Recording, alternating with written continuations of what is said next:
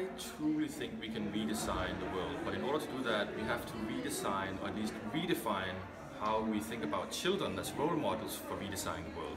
Because children's creativity and imagination and curiosity is really what we need to change and redesign the world.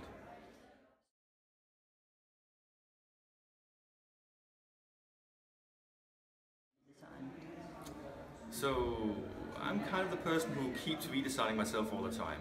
I really truly believe that you can change who you are and how you behave. So I do that. I try to do better every time as a parent or as a, as a leader, as a collaborator, as a colleague and so forth. But if there's something I should truly redesign, I think I would redesign my sense of time. Sometimes I'm a little ahead of myself and sometimes I'm not really taking risks and experimenting enough.